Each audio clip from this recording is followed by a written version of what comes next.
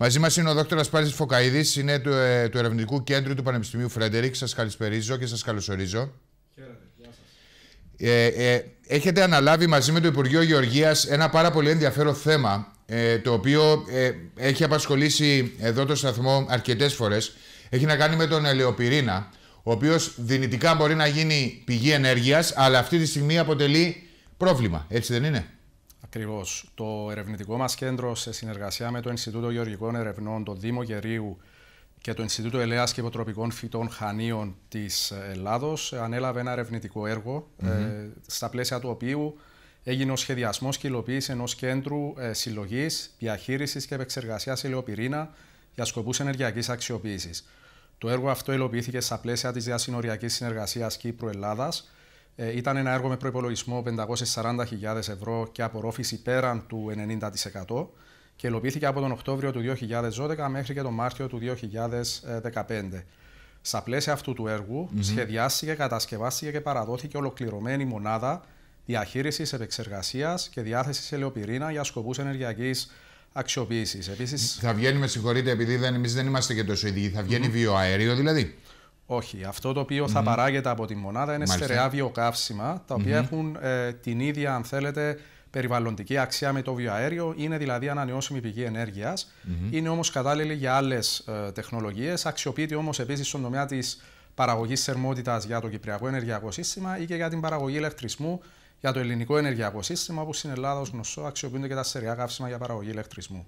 Είμαστε γενικότερα, είμαστε λίγο πίσω σε αυτούς τους τομείς, έτσι δεν είναι; Ε, είναι γεγονός ότι τουλάχιστον στον τομέα της βιομάζας θα μπορούσαν τα τελευταία χρόνια να ληφθούν περισσότερες πρωτοβουλίες. Υπάρχουν ειδικά από τη σταθμή παραγωγής βιοαερίου και παραγωγής ηλεκτρισμού από βιοαέριο στην Κύπρο. Εν τούτης, σε επίπεδο διαχείρισης αποβλήτων, γεωργικών αποβλήτων, ε, υπάρχουν πολύ περισσότερες δυνατότητες. Η μία δυνατότητα προκύπτει μέσα από την διάθεση και επεξεργασία του ελαιοπυρήνα, ε, μέσα από αυτό το ερευνητικό πρόγραμμα ε, καταδείχτηκε το γεγονός ότι σήμερα στην Κύπρο από τα 31 ελαιοτριβία τα οποία βρίσκονται σε λειτουργία καθ' όλη τη διάρκεια του έτους, παράγονται περί των 15.000 τόνων στερεού αποβλήτου, τα οποία δυνητικά μπορούν να αξιοποιηθούν για παραγωγή βιοκαυσίμων. Αντιλαμβάνεσαι ότι αυτή είναι μια πολύ σημαντική ποσότητα, ναι. η οποία δυνητικά μπορεί να έχει μια σημαντική συνεισφορά στο ενεργειακό ισοζύγιο της Κύπρου η οποία υπολογίστηκε περίπου στο 3% του συνόλου της ενέργειας του ενεργειακού ισοζυγίου της Κύπρου. Δηλαδή, το 3% του συνόλου της ενέργειας μας για σκοπούς θερμότητας μπορούμε να το πάρουμε από τον ελαιοπυρήνα μέσα από σωστή διαχείριση, ε, αξιοποίηση και επεξεργασία. Και εκτός αυτού ότι θα, θα δημιουργήσουμε ενέργεια, θα ανοίξουν και θέσεις εργασίας πάνω Σίγουρα. Η πράσινη αγορά είναι μια πολύ υποσχόμενη αγορά. Ήδη σε αρκετές ευρωπαϊκές χώρες η οικονομία, η πράσινη οικονομία έχει δημιουργήσει δεκάδες χιλιάδες νέες θέσεις εργασίας. Υπολογίζεται ότι τουλάχιστον τα τελευταία έξι χρόνια με την εφαρμογή της οδηγίας των ανανεώσιμων πηγών ενέργειας έχουν δημιουργηθεί στον ευρωπαϊκό χώρο 2,8 εκατομμύρια νέες θέσεις εργασίας για την πράσινη ενέργεια.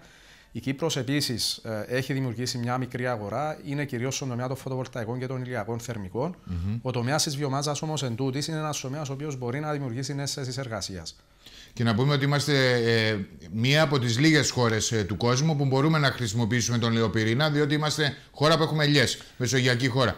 Μέχρι σήμερα όλη, όλη αυτή η ποσότητα τι γινόταν και τι κακό προκαλούσε στο περιβάλλον; Ε, είναι γεγονός ότι μέχρι σήμερα η πρακτική η οποία ακολουθεί για την διαχείριση του ελαιοπυρήνα αφορούσε σε ανεξέλεκτη εναπόθεση στο περιβάλλον, όπου αυτό μπορούσε ή δημιουργούσε μεγάλα περιβαλλοντικά προβλήματα, όπως ε, επιβάρηση του οργανικού φορτίου των εδαφών ή ακόμα και ε, αποσύνθεση η οποία ε, οδηγούσε σε δημιουργία μεθανίου ή και άλλων θερμοκηπιακών αερίων.